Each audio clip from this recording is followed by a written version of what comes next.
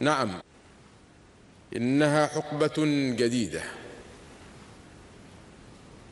تبدأ فيها تجربة جديدة. تتمثل في قيام مجلس للشورى. أعضاؤه لم يتم تعيينهم مباشرة بقرار حكومي. وإنما جاء اختيارهم من بين أولئك الذين رشحتهم ولاياتهم.